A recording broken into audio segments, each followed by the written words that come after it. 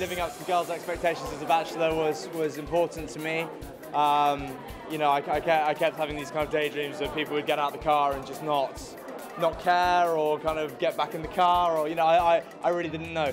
But uh, fortunately everyone stayed and uh, we had some really great times. You know some people weren't particularly happy with being sent home early and that's just down to uh, a, a, lack of time being able to spend you know I can't, I can't spend all my time with the same people. Did you find so, true love it's hard to tell because obviously we finished about six weeks ago and I haven't been able to see the winner since then. So um, so very soon I'll, I'll get to see. The distance makes the heart grow fonder?